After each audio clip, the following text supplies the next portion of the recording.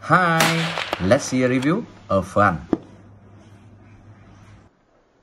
We will introduce wild boars in their natural habitat in the wild. Coming to the hunting group, you will see that preparation and professional techniques are the key to every hunt.